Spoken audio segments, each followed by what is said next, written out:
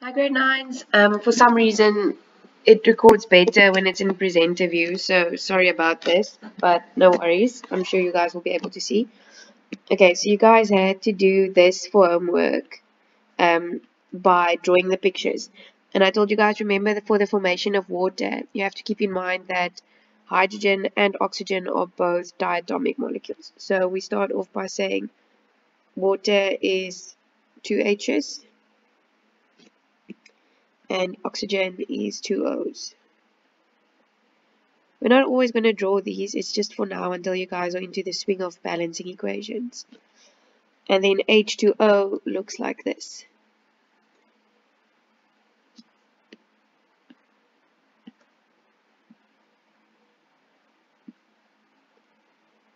Okay, so now we are literally counting the red or the green dots.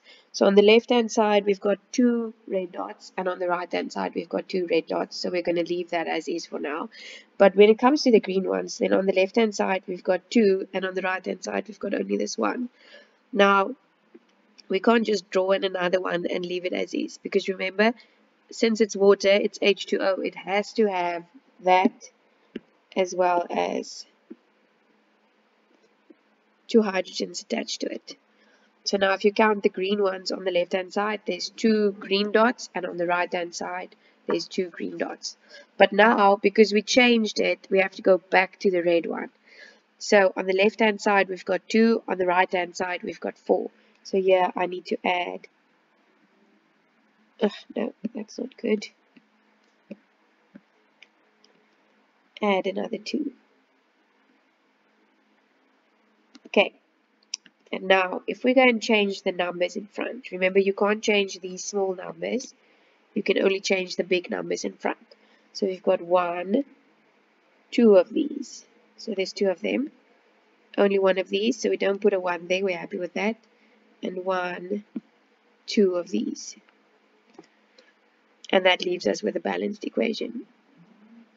Now, See, there is the balance equation. So the small number is in the elements and it tells you how many of them there is in the molecule. And the big number in front of the molecule tells you how many of that type of molecule is involved in the reaction. So you can only change the big number in front. The small numbers, the only times that you are allowed to change those is when you are writing down your equation initially. So initially when you're writing it down, you just make sure that you have all of your diatomic elements or has that little 2 there. And if you know the formula of the molecule then you write it down with this little subscript 2 or subscript 3 or whatever. But then after that once you start balancing the equation you're not allowed to ch change anything at all. Okay so we're going to practice a few. It says here iron and oxygen react to form iron 3 oxide. Now, I gave you this molecules formula there, so you don't have to worry about it too much. So iron, you know is Fe plus oxygen forms iron oxide. Okay, now before we start balancing, there's something wrong there. The first thing you need to look at is the fact that oxygen is always diatomic. Okay, and then another thing is just to make sure that you guys are understanding what's going on here. If I'm looking at reactants, in this case, iron and oxygen will be classified as reactants and the product will be iron oxide. Now, we'll get back to iron oxide, magnesium oxide and copper oxide later on. Um, that's actually the next part of the work that we're doing is when metals react with oxygen and form metal oxides. Um, so you will have to know that iron oxide is Fe2O3 but for now let's just copy it from there because we're actually not practicing that right now. Okay so I'm going to draw them you guys. Will see after a while. We're going to stop drawing them. It's just for you to get the idea of what's going on. So this one looks a bit wild but don't worry about it. I'm just going to give you more or less an idea of what's happening here. Um, so I use the orange as the iron and red as oxygen. Okay, so immediately we see we have one iron on the left hand side and we've got two irons on the right hand side, so I definitely need another one here. Remember, they're not diatomic, so I can't go and draw them next to one another. So now those are balanced. But now when it comes to the oxygen, we have a problem because there's two over here and three over here. So I'm going to have to take both of those to 6. That's the smallest multiple that they have in common. So to get them to 6, it means that I have to add two more of these to make this 3 times 2. Remember, because I have 3 of these whole molecules, and each of the molecules contains 2. So then I've got 6 of them on the left-hand side. And on this side, I'm going to have to take it from 3 to 6. So I'm going to have to multiply that by 2. In other words, I need 2 of these whole molecules. I'm going to draw them for you. Then you can count the red dots. You'll see there's 6 there then.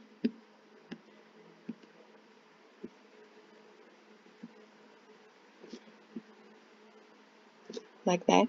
So there's one, two, three, four, five, six so then I've got 60 of them as well.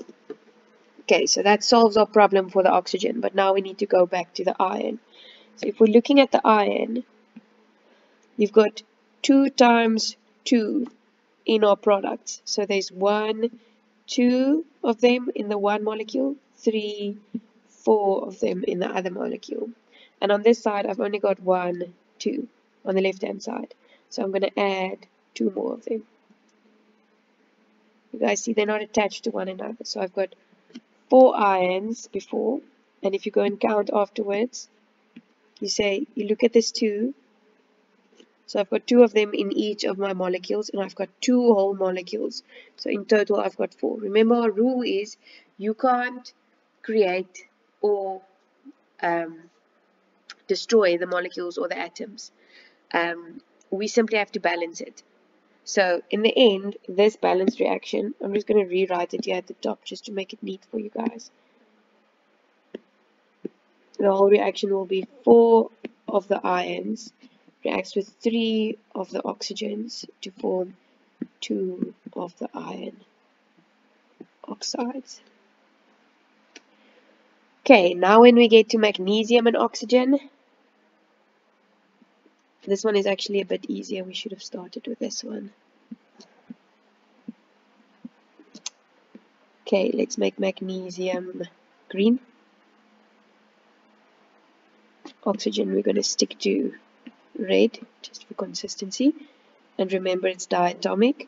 And this time I gave you the formula of magnesium oxide. Like I said in by the time you guys write a test, I actually will expect of you guys to know that magnesium oxide is one magnesium to one oxygen. But we'll get to that. Oh, one doesn't want to rub out. Anyway, okay. So when we're looking at the magnesiums, as they are at the moment, we've got one on the left hand side, one on the right hand side. So we're happy with that. But now when we look at the oxygens, we've got two on the left-hand side and two on the right-hand side. So I have to add a whole molecule on this side to balance that out. Okay, so now, for now, my red ones are balanced. You always check all of them afterwards again. Now I'm going back to my green ones. I've got one on the left hand side for my reactants, one magnesium, and two on the right hand side with my products. So I'm going to add another one here as well. It's not a whole molecule that you're bonding together. It's just an element standing on its own. So I've got one, two of these, one oxygen, and two of the magnesium oxides. Okay, and then the last one, let's make copper blue because copper actually is blue when it's in water. Let me just first write it down. Copper oxide looks like that. This one is actually going to be very similar to the one we did before this. So I've got one copper reacting with one diatomic oxygen. Remember, you have to know that it has two there to form copper oxide. Okay, for now we are happy with the blue ones because blue and blue cancels out one on each side, but we have a problem with the red ones because I've only got one on the right hand side with my products, but I've got two on the left hand side with my reactants. So I'm going to add another one here, which means I have to go and rebalance my coppers again. And now if you look at that, you've got two coppers with reactants, two coppers in your products, two oxygens in your reactants, and two oxygens in your in your products. So this is then the balanced equation for that. Okay, grade 9s, I'm going to give you guys homework. Um, and I'm uploading this video onto your classroom. So if anything happened too quickly for you, please spend some time, make sure you copy everything into your book and then that will be your homework. Topic 2, that's on the little page that I handed out for you guys that all of you received and hopefully didn't throw away. So we are done with topic 1. This is topic 2, questions 1 to 4 please for homework for tomorrow. Thank you.